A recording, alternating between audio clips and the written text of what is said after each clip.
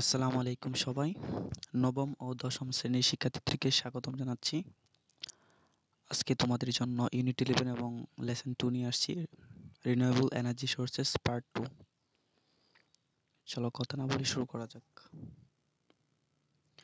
Countries of the world rely heavily on petroleum countries of the world বিশ্বের দেশগুলো rely নির্ভর করে heavily on petroleum পেট্রোলিয়ামের উপর অনেক বেশি পরিমাণে হ্যাভিলি সো এখানে একটা বিষয় হচ্ছে কান্ট্রিজ থাকার কারণে এখানে কিন্তু রিলাইস হয় নাই। রিলাই হয়েছে কারণ এটা প্রোয়াল নাম্বার হিসেবে কাজ করতেছে। সেই জন্য rely heavily on petroleum coal natural gas for their energy sources coal এবং ন্যাচারাল গ্যাসের উপর নির্ভর করে ফর দেয়ার এনার্জি সোর্সেস তাদের কি? এনার্জির যে উৎস সেগুলোর জন্য। There are two major types of energy sources আমরা জানি দুইটা বড় ধরনের এনার্জি সোর্সেস আছে এনার্জি উৎস আছে, যেখান থেকে এনার্জিগুলো এসে থাকে। তার মধ্যে একটা হচ্ছে রিনিউয়েবল মানে হচ্ছে নবায়নযোগ্য। রিনিউয়েবল শব্দের অর্থ হচ্ছে যেটা কি পুনরায় আবার কি উৎপাদন করা সম্ভব। নবায়নযোগ্য যেহেতু মানে এটা শেষ হবে না কখনো, আসতেই থাকবে একটা সময়, নির্দিষ্ট আসতেই থাকবে। আর নির্দিষ্ট সময় পর্যন্ত থাকবে, তারপর শেষ হয়ে যাবে, সেটা হচ্ছে non renewable hydrocarbon R fossil fuels are non renewable sources of energy এই হাইড্রোকার্বন আর হচ্ছে ফজিল ফুয়েলস জীবাশ্ম জ্বালানি যেগুলো রয়েছে, সেগুলো কিন্তু non renewable sources of energy reliance on them সেগুলোর উপর যদি নির্ভরতা থাকে reliance on them poses real big problems কী করতে পারে? বড় ধরনের সমস্যা সৃষ্টি করতে পারে। First fossil fuels such as oil coal gas etcetera fossil fuel এখন কারা কারা হতে পারে? জীবাশ্ম জ্বালানি কারা কারা হতে পারে? তার মধ্যে আছে oil coal gas etcetera are finite energy resources এগুলো কি নির্দিষ্ট কি? শক্তির উৎস। And the world eventually will run out of them এবং একটা সময় কি? ওয়ার্ল্ড ইভেনচুয়ালি ঘটনাক্রমে বিশ্ব will run out of them তাদের কি? ঘটনাক্রমে বিশ্ব এসবের থেকে কি বাইর হয়ে যেতে পারে? মানে হচ্ছে এগুলো শেষ হয়ে যেতে পারে, এমন বোঝাচ্ছে will run out of them মানে এগুলো থেকে বাইর হয়ে যেতে পারে। মানে এগুলা শেষ হয়ে যেতে পারে। তখন তো বাধ্য হয়ে বিশ্ব কি বের হয়ে যেতে হবে এখান থেকে। আর এগুলোর উপর নির্ভর নির্ভরতা থাকবে না। Secondly they will become too expensive in the coming decades আর এখন যেভাবে দ্রব্যমূল্যের ঊর্ধ্বগতি হচ্ছে, তো একটা সময় দেখা যাবে they will they will become তারা এমনভাবে আসবে টু এক্সপেন্সিভ খুবই কি? ব্যয়বহুল হয়ে যাবে, অনেক বেশি দাম থাকবে ইন দ্য কামিং ডিকেটস যে সামনে আগত দশকগুলো আছে সেগুলোতে। And too damaging for the environment যে they only they will not only too expensive they will also be too damaging for the environment আরও কি? এনভায়রনমেন্টের জন্য অনেক ক্ষতিগ্রস্ত বা ক্ষতিকারক হবে।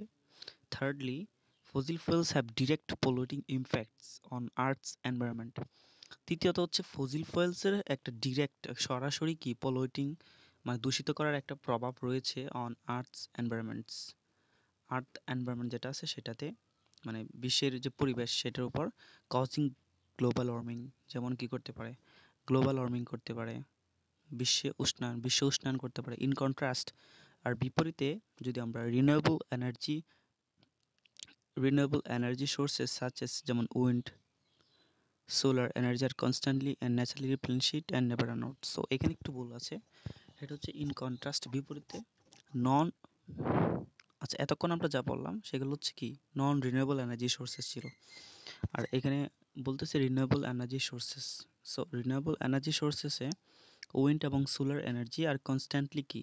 একদম ক্রমাগত এবং প্রাকৃতিকভাবে replenished and never run out মানে ঘাটতি পূরণ করবে এরকম ন্যাচারালি প্রাকৃতিকভাবে এবং ক্রমাগত ওই ঘাটতি পূরণ করে দিতে পারে replenished and never run out এবং কখনো কি শেষ হবে না। Most renewable energy comes either directly or indirectly from the sun বেশিরভাগই হচ্ছে যে নবায়নযোগ্য শক্তি যেগুলো রয়েছে, সেগুলো ইদার ডিরেক্টলি অর ইনডিরেক্টলি হয় সেটা সরাসরি হোক বা সরাসরি না হোক, প্রত্যক্ষ হোক বা পরোক্ষ হোক, কোথা থেকে আসে? সান থেকে আসে, সূর্য থেকে আসে।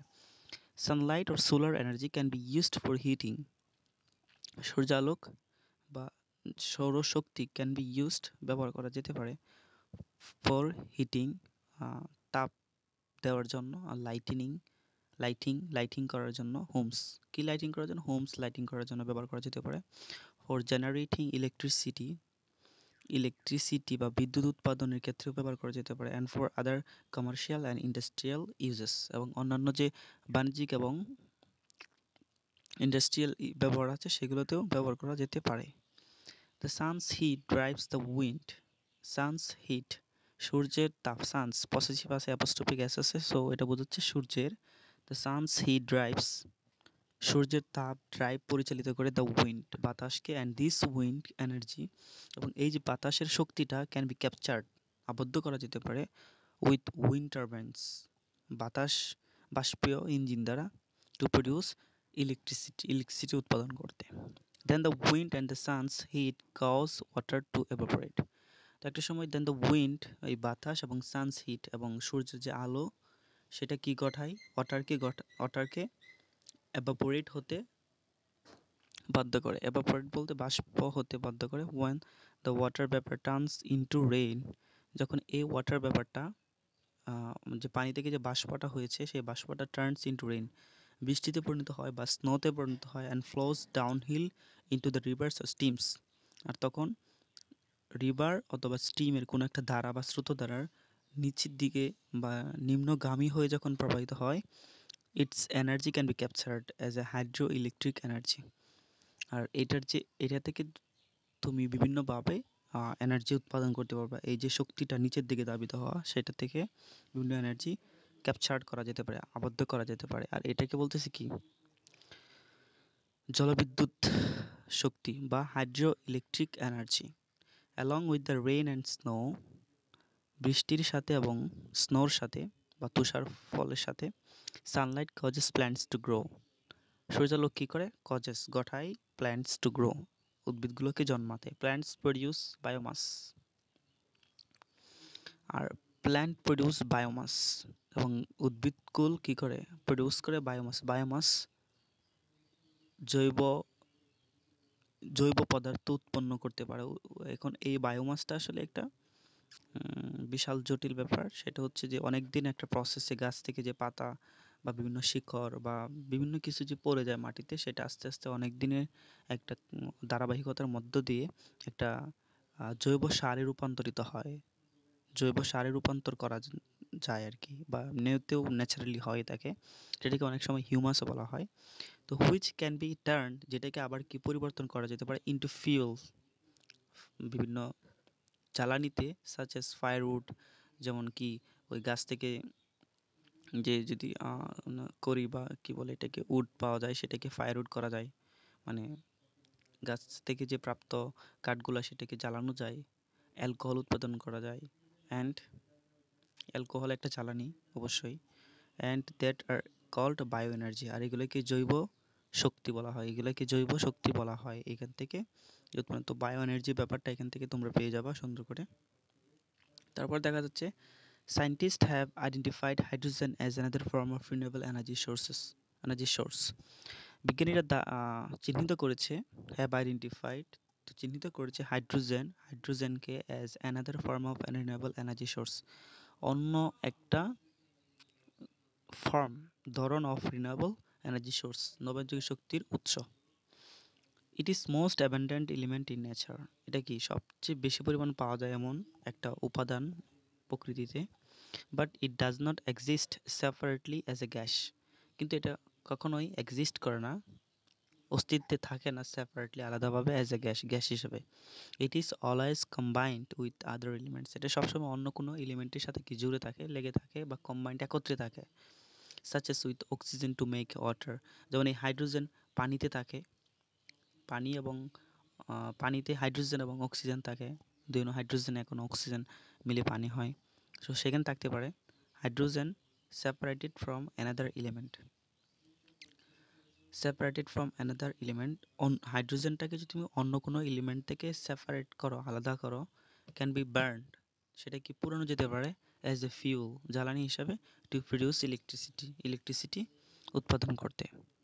Our earth's interior contains molten lava which gives off extreme heat আমাদের যে পৃথিবীর অভ্যন্তরভাগ মানে মাটির ভিতরে অভ্যন্তরভাগ রয়েছে সেটা বিভিন্ন মল্টেন গলিত লাভা ধারণ করে। হুইচ গিভস অফ যেটা একসময় কি বহির্গত বহির্গত হয়ে যায় এবং এক্সট্রিম হিট দেয়।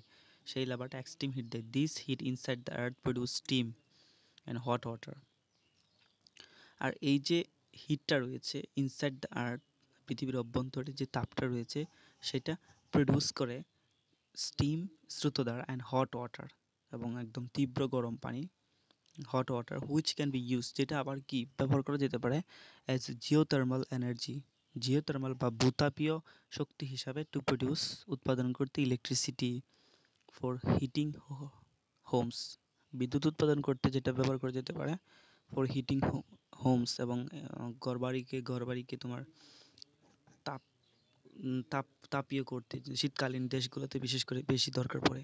ঘরের একটা অংশে দেখা যাচ্ছে যে তারা সব সময় তাপের ব্যবস্থা করার করার চেষ্টা করে যেন সবসময় উষ্ণ থাকে রুমটা so ocean energy comes from several sources সামুদ্রিক যে শক্তি, সেটা বিভিন্ন উৎস থেকে আসতে পারে। Ocean sports of tried and wave can be use to produce energy এই যে ওশেন্স সমুদ্রের যে জোয়ার এবং বাটা বা ডেউ টাইড অ্যান্ড ওয়েভ জোয়ার, বাটা বা ঢেউয়ের যে একটা বল রয়েছে, সেটা ক্যান বি ইউজড ব্যবহার করা যেতে পারে টু প্রডিউস এনার্জি এনার্জি ব্যবহার এনার্জি উৎপাদন করতে। The surface of the ocean gets more heat from the sun than the ocean deeps একটি জিনিস হচ্ছে যে সমুদ্রের যে উপরিভাগ, সেটা কিন্তু সূর্য থেকে বেশি কি পেয়ে থাকে? তাপ পেয়ে থাকে দেন দ্য ওশান ডিপস সূর্যের গভীরতার চেয়ে this temperature difference can be used as a energy source to তারপর সূর্যের কি বলতেছি যে, কি বলতেছিলাম? যে সমুদ্রের গভীরত, গভীরে, একটু গভীরে যে পরিমাণ তাপ থাকে, সমুদ্রের সারফেসে মানে উপরিভাগে, তার চেয়ে বেশি তাপ থাকে। তো এই যে একটা তাপের ডিফারেন্স হিটের যে ডিফারেন্স এই ডিফারেন্সটাকেও এনার্জি সোর্স হিসাবে ব্যবহার করা যেতে পারে। এই ছিল তোমাদের এই প্যাসেজটা আশা করি ভালো লেগেছে।